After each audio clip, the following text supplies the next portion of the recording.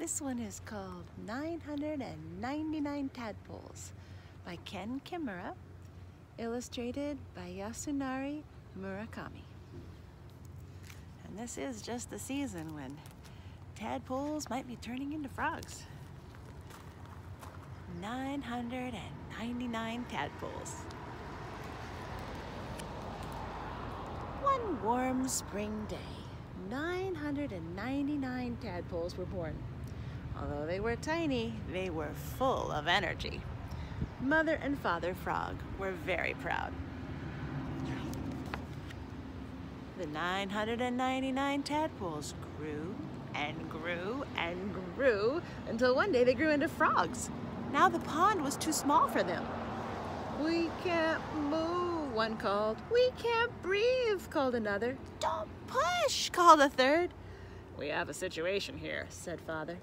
We'll have to move, said mother. So, 999 young frogs scrambled to get out of the pond. Shh, said mother. The world is a dangerous place. You must be careful. Follow your father, said mother. So 999 young frogs followed their father across the field. But no matter how far they went, all they saw was more grass. When will we get there? asked one. I'm hungry, said another. I'm tired, said a third. Keep hopping, said father, or a scary snake might get you. What's a snake? asked the frog children. A snake can eat a whole frog in just one swallow, said father. It has a very big mouth and a very long tongue. Like this, said the children. Yes, said father.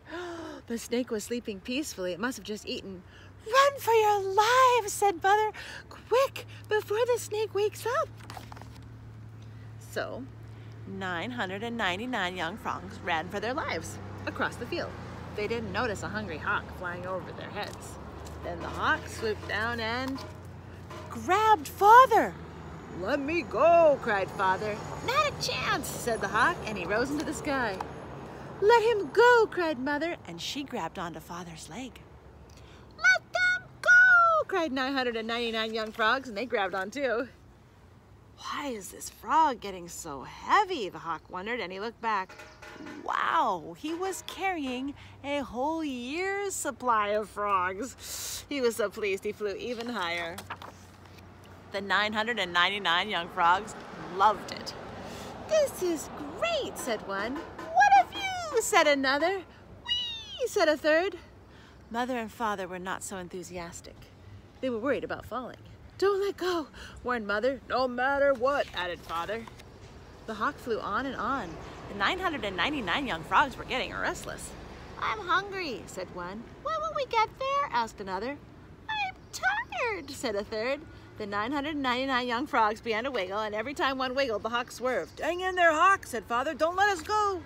But the hawk couldn't hold on any longer. Ah! Father cried. Mother and father and 999 young frogs fell down from the sky. Splash, splash, splash, splash, splash, splash, splash, splash, splash. Mother and father and 999 young frogs fell into a pond, a big pond. It's cool, said one. It's wet, said another. It's home, said the third. And that is how Mother and Father and their 999 young frogs found a new home.